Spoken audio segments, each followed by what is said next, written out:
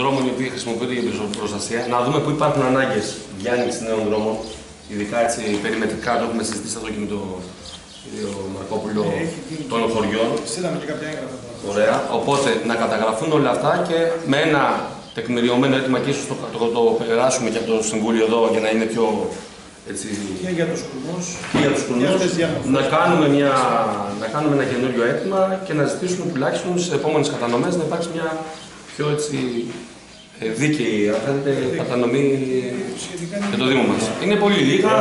Εμείς εφέτο θα διαχειριστούμε αυτά, θα προσπαθήσουμε αυτά και ό,τι άλλο μπορέσει ο Δήμος να το διαχειριστούμε όσο καλύτερα μπορούμε.